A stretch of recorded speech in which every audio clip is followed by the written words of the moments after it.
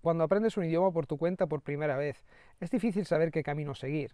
Hay tantos métodos, estrategias y vías de aprendizaje populares que la mayoría de las personas simplemente eligen el primer método que encuentran y con ese se ponen a aprender. Esto funciona bien durante un tiempo, pero la mayoría de las personas pronto descubren que el método que están usando es demasiado aburrido, demasiado estresante o simplemente demasiado abstracto y no les puedes ayudar a usar el idioma que están aprendiendo de manera eficiente, digamos.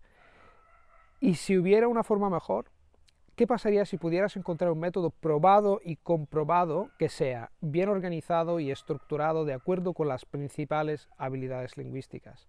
capaz de ayudarte a memorizar palabras, oraciones de forma fácil y natural, capaz de desarrollar tu capacidad de pensar directamente en tu idioma de destino, construido sobre una base de correcciones sin estrés y divertido y gratificante.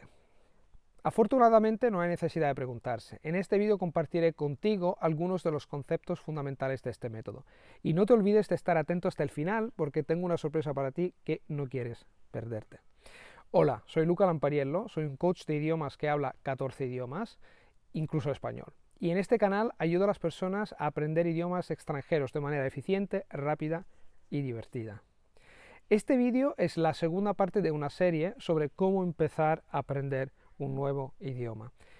A estas alturas supongo que has visto el primer vídeo de la serie y has escogido un recurso para principiantes de mucha calidad basado en las recomendaciones que hice ahí. Pero si aún no has visto este vídeo, échale un vistazo ahora, he incluido un enlace en la descripción de este vídeo.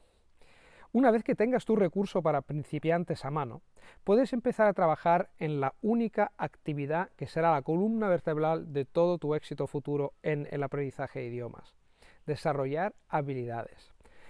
Este es un detalle importante que a menudo se pasa por alto. El aprendizaje de idiomas consiste, ante todo, en adquirir habilidades. Estas son aprender a leer, escribir, hablar y escuchar, junto con todas las innumerables subhabilidades que cualquier hablante de idioma competente tiene en su caja de herramientas. En las aulas tradicionales, el desarrollo de habilidades a menudo se pasa por alto en favor de los hechos, hechos en forma de tablas de conjugación, listas de palabras, explicaciones gramaticales, nombres de tiempos verbales, etc. Todas esas cosas están relacionadas con el idioma, claro, pero es importante darse cuenta de que saber estas cosas no tiene nada que ver con hablar y usar un idioma de manera eficaz. Por ejemplo, ¿alguna vez consultaste una tabla de verbos al aprender tu lengua materna? No lo creo. Así que mi método, el método del que te hablaré hoy, no te hace perder el tiempo con esas cosas. En cambio, te enseñaré cómo usar la traducción para desarrollar una base sólida de habilidades lingüísticas auténticas, las mismas habilidades que los hablantes nativos de tu idioma de destino, tu lengua meta, usan todos los días. Vamos a verlos. Paso número uno. Comprende a fondo el contenido. En la parte 1 de esta serie hablé extensamente sobre la importancia de los textos bilingües y en particular los diálogos bilingües con archivos de audio. Si seguiste mi consejo, el recurso que elegiste contiene muchos de estos diálogos que ahora utilizarás para comenzar a aprender el idioma que estás aprendiendo. En este primer paso, el objetivo es aprender cómo coger estos diálogos para principiantes que deben venir tanto en tu idioma nativo como en el idioma de destino y usarlos para desarrollar una comprensión profunda de lo que realmente significa la versión del diálogo en el idioma de destino, de lengua meta. Como principiante, las primeras habilidades que necesitas desarrollar son escuchar y leer. De esta manera podrás interpretar los sonidos y descifrar el idioma escrito que se usa para, representar estos sonidos. Afortunadamente, tus diálogos bilingües deberían tener todo lo que necesitas para comenzar a escuchar y leer rápidamente. Una vez que te sientas cómodo siguiendo el texto y el audio, puedes desarrollar una comprensión más profunda del diálogo de varias maneras. Lee el texto y escucha el audio al mismo tiempo. Lee el texto solo en tu idioma de destino, sin audio. Lee el texto solo en tu idioma nativo. Lee el texto en voz alta en tu idioma de destino. Compara las versiones del diálogo en el idioma de destino, en tu lengua meta y en el idioma nativo, y usa las notas gramaticales adjuntas para aclarar cualquier detalle que no hayas podido entender. Completar esas actividades te ayudará a obtener progresivamente una comprensión cada vez más profunda de lo que realmente significa cualquier diálogo en tu libro de texto. En esta etapa, enfócate únicamente en comprender lo que significa el diálogo. No te preocupes todavía por la traducción o la memorización. Todo esto vendrá más tarde. Paso número 2. Traduce el texto a tu idioma nativo. Ahora que comprendes lo que se supone que significa la versión en el idioma de destino, en tu lengua meta, de tu diálogo, vamos a completar nuestro primer paso de traducción. Coger el texto del idioma de destino y traducirlo a tu idioma nativo. Dado que el recurso que elegiste para principiantes probablemente ya viene con una traducción del diálogo en el idioma nativo, es posible que tengas curiosidad por saber por qué esto es necesario. La respuesta es la personalización. Es más probable que tu cerebro memorice la información que considera importante o significativa para ti. Directamente de tu libro de texto, el diálogo en que has estado trabajando probablemente no tenga mucha relevancia personal. Porque la verdad es que alguien más escribió el diálogo, porque no es algo que sea exclusivo tuyo o de tus circunstancias. Al coger el diálogo en el idioma de destino y utilizar lo que has aprendido hasta ahora para traducir ese diálogo en tus propias palabras, estás haciendo dos cosas. Creas una versión única, más personal y más memorable del diálogo prestando más atención al contenido, a la estructura del diálogo original, para que puedas traducirlo fielmente a tu propio idioma. Juntos, estos dos pasos ayudarán a solidificar aún más tu conocimiento del diálogo y harán que sea mucho más fácil memorizar las palabras y frases que contiene. En este punto es importante considerar cómo realizar esta traducción y dónde la guardarás. Para la mayoría de las personas recomiendo escribir la traducción a mano en un cuaderno de idiomas dedicado exclusivamente para esto, o escribir la traducción y guardarla en tu software como Google Docs, Notion o Evernote. Personalmente disfruto escribiendo mis traducciones en un documento de Google. Escribir me permite completar el proceso con bastante rapidez y hacerlo en un software de procesamiento de texto me permite mover y reformatear cosas fácilmente. Paso número 3. Vuelve a traducir el texto a tu idioma de destino.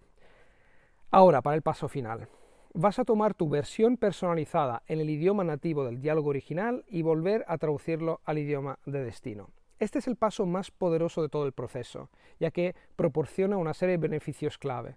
Pone a prueba tu capacidad de tu cerebro para recordar lo que aprendiste en los dos pasos anteriores. Pone a prueba tu capacidad para formar frases y oraciones en tu idioma de destino o lengua meta te obliga a pensar directamente en tu idioma de destino, de modo que tus oraciones finales transmiten el significado correcto. Así que, ¿por dónde empezamos? Primero, en realidad comenzamos esperando. Una vez que hayas completado la traducción al idioma nativo en el último paso, es mejor esperar entre 24 y 48 horas antes de volver a traducir el diálogo al idioma de destino, tu lengua meta. ¿Por qué deberías esperar? Porque esperar te ayuda a olvidar. ¿Y por qué deberías olvidarlo? Porque la información que se olvida y luego se recuerda creará improntas más fuertes que la información que nunca se llegó a olvidar. La escolarización tradicional nos enseña que olvidar es algo malo, pero la investigación en neurociencia ha demostrado que el olvido juega un papel fundamental en la memorización. Repito, si olvidamos algo y luego recordamos lo que hemos olvidado, lo recordaremos mejor en el futuro. Si esperas uno o dos días para completar tu segundo paso de traducción, estarás aprovechando este importante mecanismo neuronal. Una vez que estés listo para volver a traducir, esto es lo que debes tener en cuenta. Traducir oración por oración. Primero, lee la versión completa de cada oración en tu idioma nativo y eh, luego intenta transmitir el significado de esta oración a tu lengua meta. Evita traducir palabra por palabra si es posible. Si descubres que has olvidado una palabra o frase, intenta estrujar tu cerebro durante 3 o 10 segundos y trata de recordarla. Si todavía no puedes recordarla después de ese tiempo, deja un espacio en blanco en tu traducción y búscala más tarde. Una vez que las busques, esas palabras y frases olvidadas se recordarán con más fuerza en el futuro. Cuando hayas terminado este paso de traducción inversa lo mejor que puedas, puedes comparar tu nueva versión en el idioma de destino con la versión original en tu libro de curso. Este paso proporciona la retroalimentación libre de estrés que mencioné anteriormente, ya que te ayuda a observar los tipos de, los, tipos de errores que cometes en, en el idioma, así como los tipos de cosas que es más probable que olvides y recuerdes. Pues ahí lo tienes. Estos son los tres pasos clave que te ayudarán a aprender cualquier idioma a través de la traducción. Recapitulemos. Primero, tienes que comprender de arriba a abajo todo el contenido. Segundo, traduce el texto a tu idioma nativo. Tercero y último, vuelve a traducir el texto a tu idioma de destino. Estos pasos son una síntesis del método que he utilizado para aprender 10 de los 14 idiomas que hablo hoy.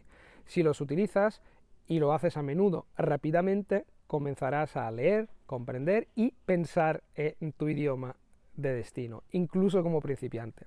Si deseas obtener más información sobre este método, incluso, entre otras cosas, el poderoso plan de aprendizaje que te ayudará a alternar esas actividades de manera consistente y eficiente, echa un vistazo al cuadro de descripción a continuación.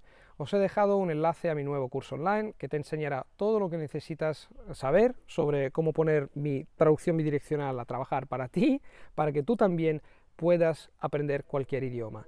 Y el curso ha sido traducido también en español, con subtítulos y PDFs y material. Como siempre, gracias por verme y feliz aprendizaje de idiomas.